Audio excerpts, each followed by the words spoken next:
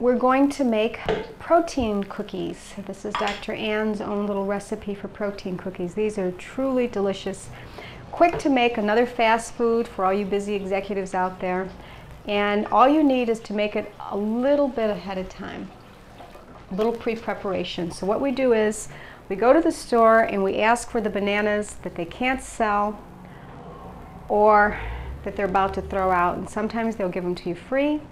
Sometimes you can get them for 19 cents or 4 cents a pound or 10 cents a pound. So we put our bananas in the blender. This is another quick blender meal, except we will be using a food dehydrator along with this. Um, so we take the old bananas and we put them now the other thing you can do with these old bananas is you can freeze them, and if you own a Champion juicer, makes great banana ice cream.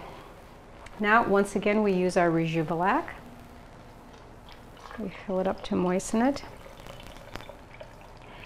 And the other little pre-preparation that we did was we took sunflower seeds. Now, I don't know if you, in the other tape we had sunflower seeds that were planted in dirt and sprouted uh, greens. Now this time we took sunflower seeds and we just soaked them for four hours in a regular jar by nylon screening with a rubber band on top. And these are great for just doing all your sprouting in general if you don't have the little sprout bags. So we rinse these out. This is so simple and these are so delicious. Okay, and we take some of the sunflower seeds and we pour them into with the bananas.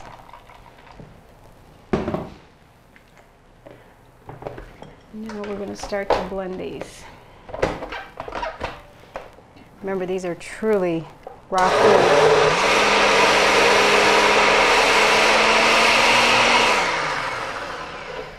And we have to keep mixing it up a little bit so it gets thicker and thicker. Can add more bananas to that. We want a creamy consistency, almost like a pancake dough for this. So we'll add more bananas. Add more sunflower seeds. Whoops. And we'll blend those.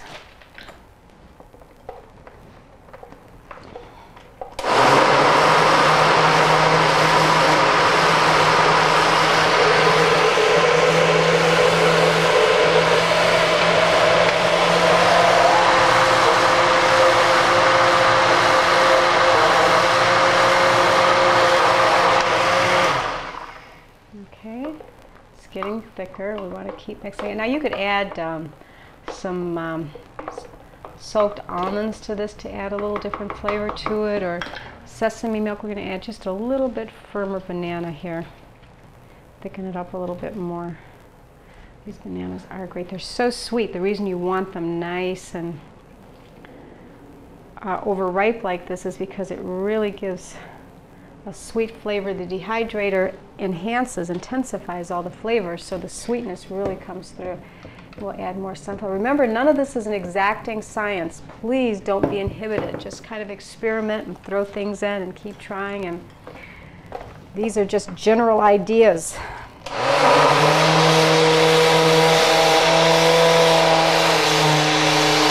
Okay, we need to mix that up a little bit. It's really getting full here.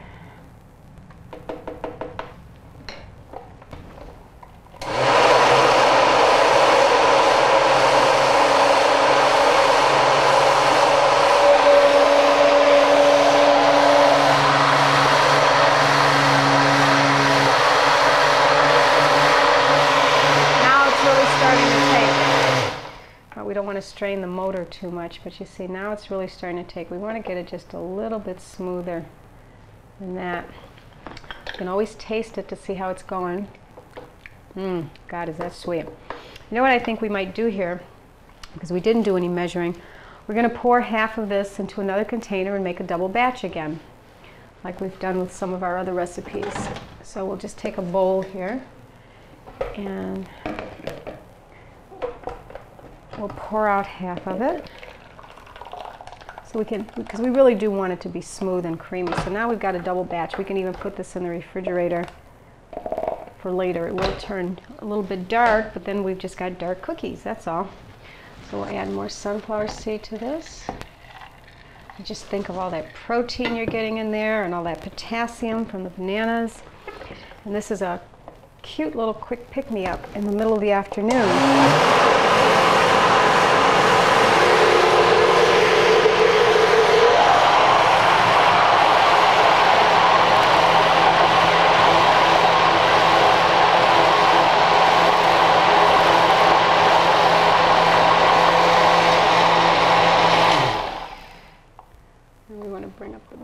it's getting nice and thick. It's getting that pancakey, see that almost pancake waffle consistency. That's what we want.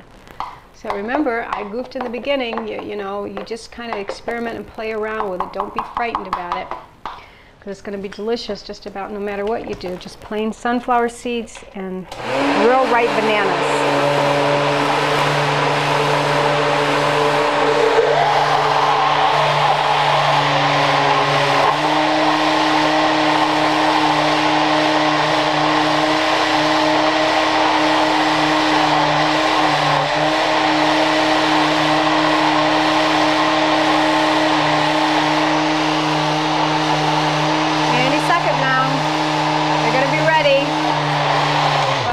Turning it off because we don't want to strain the motor too much, but I think that's just about ready. I'm going to run it one more time, and then we'll just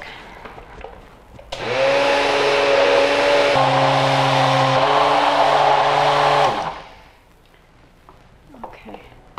So mm. Okay. You ready now? Then we have our sheets there are many types of dehydrators. The kind that I have has the plain sheets for when you just put vegetables on or you can cut and quarter your bananas and put them on like that and they make great little snacks or you can put watermelon on there. We have a few of those made we can show you. And then we just take the little protein cookie and we put them on the, like a cookie sheet. Kind of spray space them because they're going to spread. Get a little one over there. Just like your um, conventional drop sugar cookies or, there you go. So we'll get nine of them in here. The other thing you can do is you can just spread the whole thing out and make one sheet and cut them later. And these are our protein nuggets beforehand. Now we made the little individual nuggets, the other thing you can do is just spread the whole thing out on a sheet and then cut them later. That's just an alternate way if you don't want to make all the individual cookies. And you're going to put this in your dehydrator at about 120 degrees for two days. And then you can take them and you can put them in Ziploc baggies and put them in your refrigerator and they will last all year long. They're great for traveling, to give to children as snacks when you're out in the car and you want a quick pick-me-up and you don't want to run for, for the conventional foods you used to run for, a Hershey bar, you'll want, run for one, you'll run for one of your protein nuggets. And this is the way the sheet looks. These are some of the uh, bananas we did earlier. And these are some of the dried apples. And this, uh, what's left of it, is the watermelon. And believe me, your kids will love this. This is like candy. So I really think it's worth everybody to make the in, um, investment of a food dehydrator. There are just so many wonderful things, especially in the summer when you have your farmer's market. You can buy all kinds of vegetables, fruits and vegetables and dehydrate them. Um, eat them later in the year. Uh, these are better than in the store. They're delicious.